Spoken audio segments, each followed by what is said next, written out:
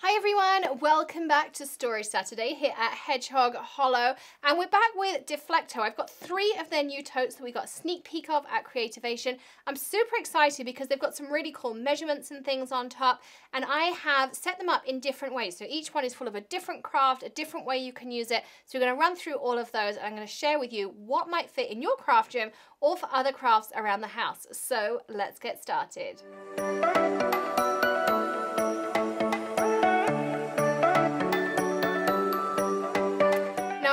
With this one here at the front. So this is the smaller of the totes, but you see it's longer. It's kind of like the traditional toolbox shape. So you could use this as a toolbox. You could use it as a crafty toolbox.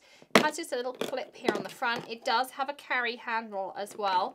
Um, and inside you have a tray. So this is how the tray comes. It's divided down the middle here. You've got a really nice handle to pick it out and then lots of space in the bottom. I've decided to use this as my glue gun box because I have lots of different glue guns um, but quite often I want to use it maybe around the house. I want to use it in different places. So I've got a couple of glue guns in here. I have a silicone mat to use and then I have all of my fun coloured glue sticks in the top here. So I can have my glitters and my colours and those kinds of things. And I think this works really well, but you could use it for drawing, you could use it for stamping, you could use it for knitting, beading, all sorts of fun things. You could even line um, like this area in here you could line this with some felt and then you could use it for beading. So that's one option. So this is the more traditional style, um, but the other two are the ones that I'm really excited about. So these are a new, completely new design from Deflecto. Again, they have the carry handles on top so you can lift them up, but they both have this area. I'm to just move this one in here. So you've got this area in on top that has all of these markings in and what you do is you just lift these two little pieces up it's hinged and these are dividers. so you can put all of your little um, you know, notions and things in there. If you are a sketch artist, you could put like your kneadable eraser and some pencils in here. Just pop some felt at the end um, for the tips of your pencils. You could put your sharpener and things in there. And if you're crafting on the go, you could use one area as like little trash to put in your sharpenings and things. The same goes on the smaller one here. And this one I've already set up. And let me show you. So let's get your finger underneath and you open it up. So this one I've done as a knitting box. So I've got my stitch holders in here, my needle tip protectors, my counter, my scissors, and some clips in here. But the thing that I really like is on top, you've got this here. So these markings, these are inch markings that you can see on the top here. And of course, if you're doing a pattern or you're being creative in some way. Like if you're knitting in particular, it'll say, you know, knit stocking stitch for three inches. So it's just really nice to have these markings and you can measure whatever you're doing. If you're doing maybe carpentry or something else that needs measurements, you can check all of your measurements on the go because that's built in. You don't have to take a ruler with you. And I think that is a really, really nice part of this storage. It's probably my favorite part. As I say, this one I've made into a, a knitting box. You can see it's translucent. It's just frosted inside. So um, you could put knitting across here. I'm going to do that in an Instagram TV later in the month. Um, but you can pop everything in here and then it has a little side clasp just like that. This opens up and you open this side clasp as well. And inside, again, you have that nice little tray that you can lift out. It has a handle. You've got, you know, room to put needles or a crochet hook. I've got my darning needles in here.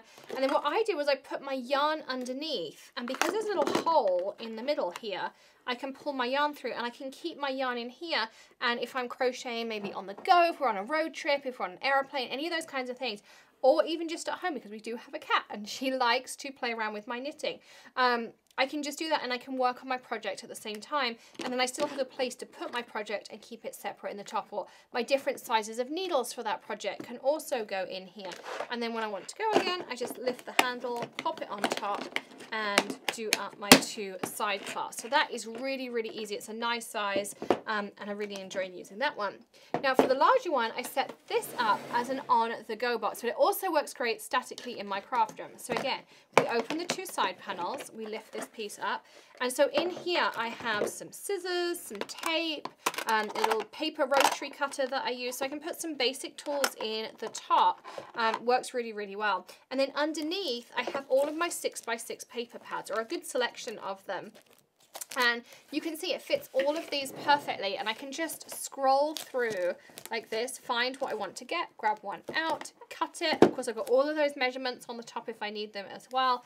And I think this is really great for whether we keep it in our craft room or whether we want to take it on the go. So maybe you go to crops and classes and things, then this is a really great way to go. But you could use these for first aid, you could use them for yarn, for beading, for carpentry, like if you like to do wood turning and things. You could use them for watercolors because you could fit a lot of watercolor palettes and things in here and your brushes in the top. Loads and loads of different options. I mean, Maddie would really like one for her anime. She could put her sketchbook in here, some markers standing upright because you've got a nice amount of height in here before this tray goes on. You can see I've got a whole six by six paper pad under there so she could put her sketch paper under there.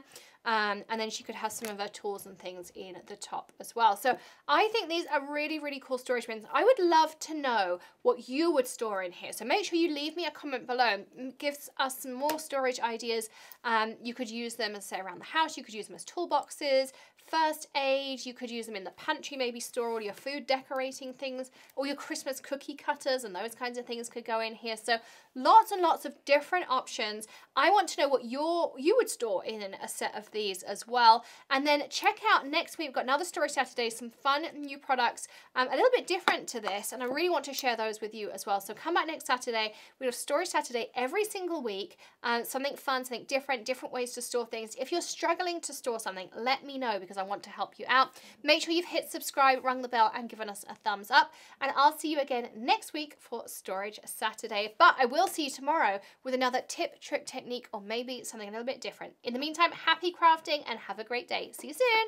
Bye.